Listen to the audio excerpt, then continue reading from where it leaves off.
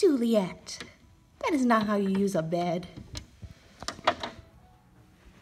You silly girl. Alexa here with Juliette and Henry.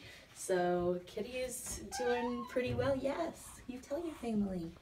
Um, they got their third day weigh-in yesterday and Henry, same weight as check-in and Juliette only down one. So pretty impressive. We find that the more often and the more more times that kitties come, uh, the more they get the routine and they know their friends. So yeah, we're very proud of them that they are no longer uh, abstim needing kitties and they eat their food all on their own, right?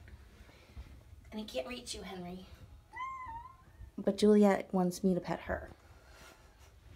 So I guess we will just let Juliette have all the pets and we can just tell Henry how cute he is.